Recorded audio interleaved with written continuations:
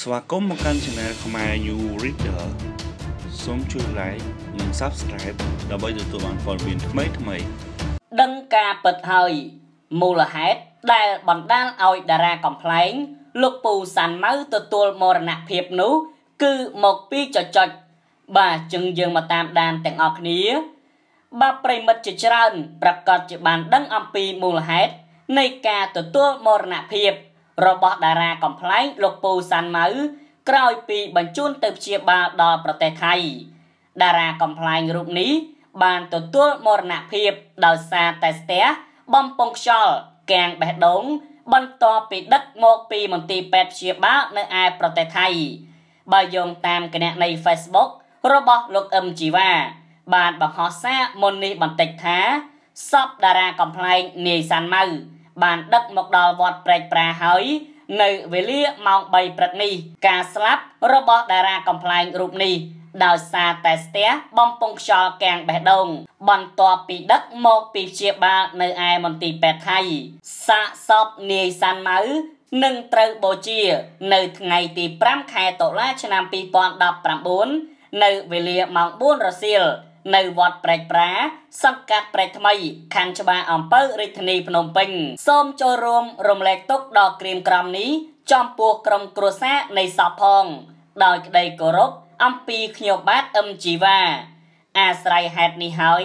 សូមបងប្អូនមិត្តសិល្បៈរួមអាជីពទាំងអស់សូមមេត្តាចូលរួមរំលែកទុករបស់តារាកំ pl ែងនិងចូលរួម ជូនដំណើរគាត់ទាំងអស់គ្នាជាលើកចុងក្រោយ ដែលពិធីបុណ្យនឹងធ្វើឡើងនៅវត្តព្រែកប្រាតែម្ដង សូមអរគុណ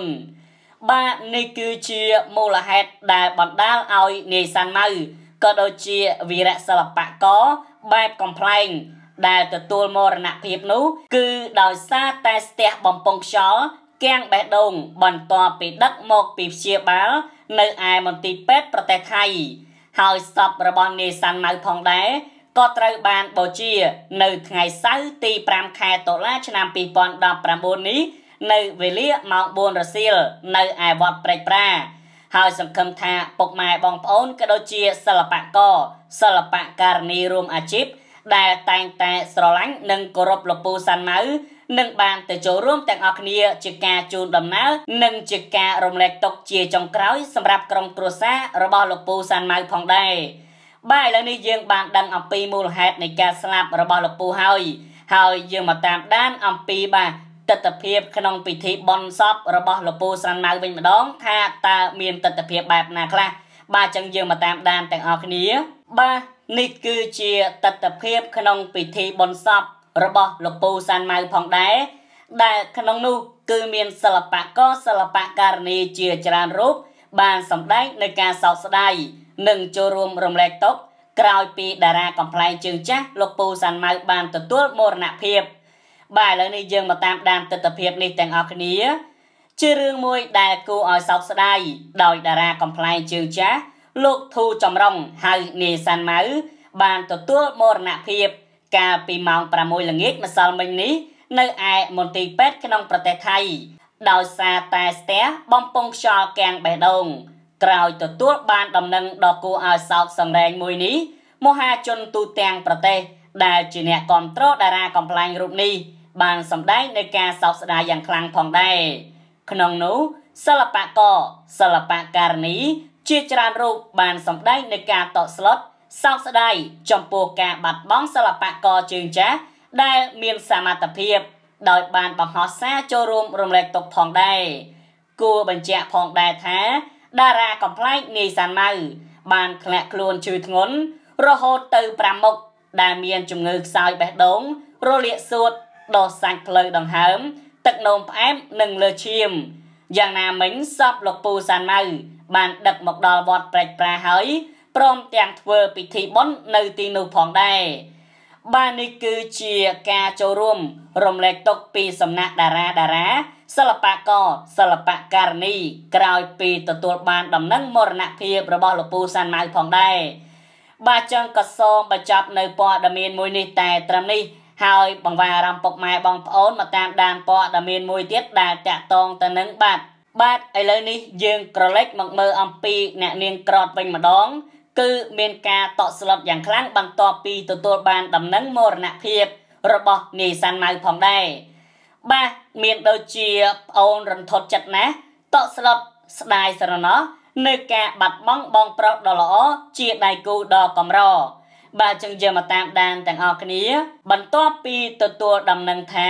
នាយសាន់ម៉ៅបានទទួលមរណភាពទៅហើយនោះអ្នកនាងក្រតដែលជាដៃគូកំ pl ែង និងដៃគូកាត់សក់តាមរោងការផងនោះបានសម្ដែងនៅអារម្មណ៍សោកស្ដាយជាខ្លាំងព្រមទាំងបង្ហោះសារនៅពាក្យពេចន៍មួយចំនួនថែមទៀតផងអ្នកនាងក្រតបានបង្ហោះសារថាប្អូនរន្ធត់ចិត្តតក់ស្លុតស្ដាយស្រណោះនៅការបាត់បង់បងប្រុសដ៏ល្អជាដៃគូដ៏កម្រនិងជាសិល្បករដ៏មានទេពកោសល្យម្នាក់ប្អូនពិតជាពិបាកនឹងទទួលយកខ្លាំងណាស់ សូមឲ្យវិញ្ញាណក្ខន្ធបងប្រុសបានទៅកាន់សុគតិភពផងចុះគួរបញ្ជាក់ផងដែរថា អ្នកនាងក្រតនិងនាយសាន់ម៉ៅគឺជាកូនក្រុមកំ pl ែងរបស់លោកជួងជីហៅនេកុយដែលតែងតែផ្ដល់សំណើចដល់មហាជនយ៉ាងច្រើនផងដែរនាយសាន់ម៉ៅបានធ្លាក់ខ្លួនឈឺធ្ងន់ក្នុងរយៈពេល2ឆ្នាំក្រោយនេះដោយស្ថានភាពរបស់លោកត្រូវបានយកចិត្តទុកដាក់ពីសំណាក់ថ្នាក់ដឹកនាំមិត្តសិល្បៈរួមអាជីពផងដែរ នៅពេលលោកសម្រាប់ជាបាលជំងឺនៅមន្ទីរពេទ្យកាឡាម៉ែតអ្នកនាងក្រតក៏ធ្លាប់បានទៅសួរសុខទុក្ខនិងបង្ហូរទឹកភ្នែកជោគផែនថ្ពាល់នៅពេលដែលឃើញស្ថានភាពរបស់ដៃគូដ៏ស័ក្តិសមបែបនេះមកដល់ពេលនេះសាកសពនាយសាន់ម៉ៅក៏បានដឹកពីមន្ទីរពេទ្យខេត្តអ៊ូប៊ុនក្នុងប្រទេសថៃយកមកតម្កល់នៅក្នុងវត្តព្រែកប្រាខណ្ឌច្បារអំពើដើម្បីរៀបចំធ្វើបន់តាមប្រពៃណី បាននេះគឺជាទឹកចិត្តរបស់អ្នកនាងក្រតដែលជាដៃគូក៏ដូចជាតារារួមអាជីពជាមួយនេសានម៉ៅក៏បានបង្ហោះសារយ៉ាងរន្ធត់និងតក់ស្លុតហើយថែមទាំងស្ដាយស្រណោះនៅការបាត់បង់បងប្រុសដ៏ល្អហើយជាដៃគូដ៏កម្រថែមទៀតផងបាទចង់ក៏សបញ្ជាព័ត៌មានមួយនេះតែត្រឹមនេះហើយបង្វែរអារម្មណ៍ពុកម៉ែបងប្អូនមកតាមដានព័ត៌មានមួយទៀតដែលតាក់ទងទៅនឹងបាទ បាទឥឡូវនេះយើងក្រឡេកមកមើលអំពីបទដាំចុងក្រោយក៏ដូចជាពាក្យពេចន៍សម្ដីចុងក្រោយ របស់តារាកំ pl ែងលោកពូសាន់ម៉ៅមុនពេលដែលលោកពូបានទទួលមរណភាព ដោយមានការរៀបរាប់ពីលោកអឹមជីវ៉ាបានឲ្យដឹងថា លោកពូសាន់ម៉ៅគឺជាតារាកំ pl ែងជើងចាស់មួយរូបដែលល្អគោរពពេលវេលា និងសម្ដែងមិនដែលទាថ្លៃឈ្នួលឡើយគឺឲ្យប៉ុន្មានលោកតែងតែយកប៉ុណ្ណឹងមិនដែលទៀមទាអ្វីនោះទេ ហើយអ្វីដែលពិសេសទៀតនោះនីសាន់ម៉ៅគឺជាតារាមួយរូបដែលធ្វើការគោរពពេលវេលាណាស់ហើយជាតារាមួយរូបដែលមានក្រមសីលធម៌ល្អនៅក្នុងការងារក៏ដូចជាមានចរិតរុះរាយរាក់ទាក់ផងដែរដែលជាការគួរឲ្យគោរពសម្រាប់សិល្បករចំនួនថ្មី បាទនេះគឺជាការបាត់បង់និងជាការសោកស្ដាយយ៉ាងខ្លាំងដោយកម្ពុជាយើងគឺបានបាត់បង់នៅវីរៈសិល្បករផ្នែកកំ pl ែងមួយរូបទៀតហើយ គឺនាយសានម៉ៅដែលនាយតែងតែផ្ដល់នៅសំណើចសើចក្អាកក្អាយជូនទៅដល់ពុកម៉ែបងប្អូន បានសើចកំសាន្តហើយឥឡូវនេះលោកពូសាន់ម៉ៅក៏បានទទួលមរណភាពដោយរោគគាពេទ្យនៅក្នុងមន្ទីរពេទ្យឯប្រទេសថៃឯណោះ ហើយសាកសពក៏បានដឹកមកដល់ប្រទេសកម្ពុជា ដែលដាក់តម្កល់នៅក្នុងវត្តព្រែកប្រាផងដែររងចាំថ្ងៃបូជា និងសង្ឃឹមថាពុកម៉ែបងប្អូនក៏ដូចជាសិល្បករសិល្បករនីនឹងអញ្ជើញទៅចូលរួមឲ្យបានច្រើនកកកដើម្បីជាការរំលែកទុកដល់ក្រុមគ្រួសារនៃសពក៏ដូចជាការជូនដំណើរជាលើកចុងក្រោយសម្រាប់លោកពូសាន់ម៉ៅផងដែរ ហើយបើយើងក្រឡេកទៅមើលអំពីស្ថានភាពនៃគ្រួសាររបស់លោកពូសាន់ម៉ៅគឺថាមានភាពពិបាកដោយសារតែត្រូវប្រមូលទ្រព្យសម្បត្តិនិងរបស់របរលក់ដើម្បីយកថវិកាទៅព្យាបាលជំងឺដល់ឯប្រទេសថៃក៏ប៉ុន្តែជាអកុសល លោកពូសានម៉ៅក៏ទទួលមរណភាពដោយសារតែស្ទះផ្លូវដង្ហើមធ្វើឲ្យគាំងបេះដូងស្លាប់នៅឯបន្ទប់ទឹកសាធារណៈ នៅក្នុងម៉ាតមួយកន្លែងក្នុងប្រទេសថៃ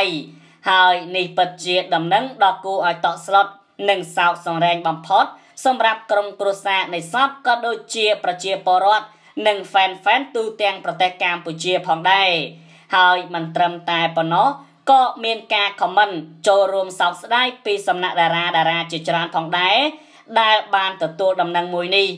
បាទអញ្ចឹងក៏សូមបញ្ចប់ព័ត៌មានមួយនេះតែត្រឹមនេះ ហើយកុំភ្លេចជួយ like share subscribe និងចុចរូបកណ្ដឹងដើម្បីទទួលបានព័ត៌មានថ្មីៗប្រចាំថ្ងៃជួបគ្នាជាមួយខ្ញុំបាទវីដេអូក្រោយអរគុណសូមជម្រាបលា